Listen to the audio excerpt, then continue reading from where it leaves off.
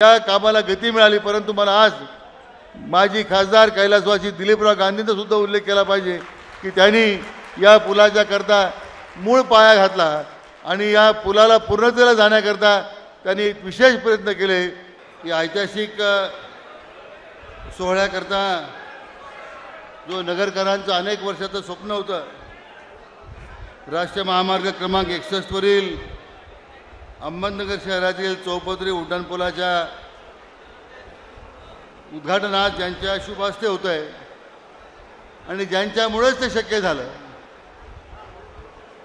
ज्यांच्या सहकार्याशिवाय मदतीशिवाय या उड्डाणपुलाचं स्वप्न साकार झालं नसतं आज त्यांच्या शुभ हस्ते या उड्डाणपुलाचा शुभारंभ होतोय. ते आपल्या सर्वांचे नेते आमचे मार्गदर्शक आदरणीय नितीनजी गडकरी साहेब केंद्रीय मंत्री रस्ते वाहतूक महामार्ग मंत्रालय कार्यक्रमाकरता उपस्थित या लोकसभा मतदारसंघाचे खासदार सन्मान्य डॉक्टर सुजय विखे पाटील खासदार सदाशिवराव लोखंडे सर्व माझे सहकारी आमदार बबनराव दादा पाचपुते मोनिकाताई राजळे मान्य शिवाजीराव कर्डिले स्नेहलताताई कोले आपले माजी मंत्री आणि या उड्डाणपुलाच्या कामामध्ये त्यांचा विशेष पुढाकार राहिला मान्य राम शिंदे साहेब मान्य बाळासाहेब मुरकुटे भैया गंदे अरुणराव मुंडे या शहराचे लोकप्रिय आमदार सन्मान्य संग्रामभैया जगताप सर्व नॅशनल हायवे अथॉरिटीचे सर्व पदाधिकारी सुरेंद्र गांधी त्यांचे सर्व सहकारी उपस्थित सर्व बंधू भगिनी आणि पत्रकार मित्रांनो वेळ अतिशय कमी आहे. आदरणीय गडकरी साहेबांचं भाषण आपल्याला ऐकायचं आहे. मी फक्त या ठिकाणी या ऐतिहासिक सोहळा जो या ठिकाणी संपन्न होतो आहे नगर शहराच्या या ऐतिहासिक शहरामध्ये सुवर्णाक्षरात दिला जाईल असा समारंभ आहे.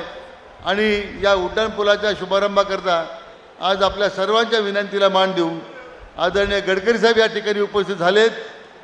त्यांचं मी आपल्या तमाम नगरवासियांच्या वतीने मनपूर्वक हार्दिक स्वागत करतो. त्यांना मनापासून धन्यवाद देतो.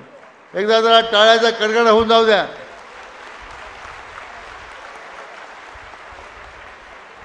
आज राज्याचे सन्मान्य उपमुख्यमंत्री देवेंद्रजी फडणवीस साहेबसुद्धा उपस्थित राहणार होते.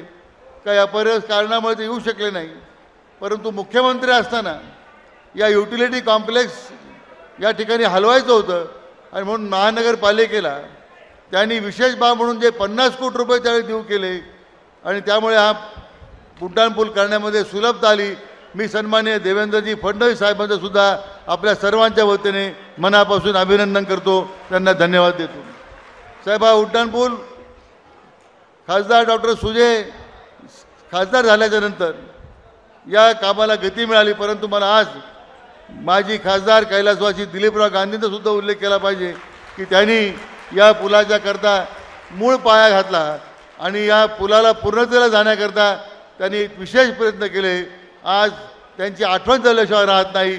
मी दिलीपरावांच्या सुद्धा पवित्र स्मृतीस मी या निमित्तानं अभिवादन करतो आणि खरं म्हणजे त्यांना नतमस्तक होतो. आणि दिलीपरावांचं हे स्वप्न पुढं घेऊन जाण्याचं काम खासदार डॉक्टर सुजय विखे पाटलांनी केलं.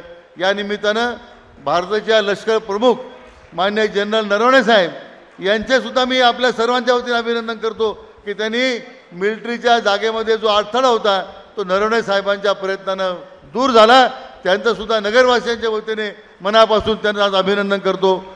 आणि मी पुन्हा एकदा आदरणीय गडकरी साहेबांना आल्याबद्दल त्यांचं स्वागत करतो. त्यांनी आपल्याला संबोधन करावं मार्गदर्शन करावं अशी त्यांना विनंती करतो. थांबतो. जय हिंद जय महाराष्ट्र.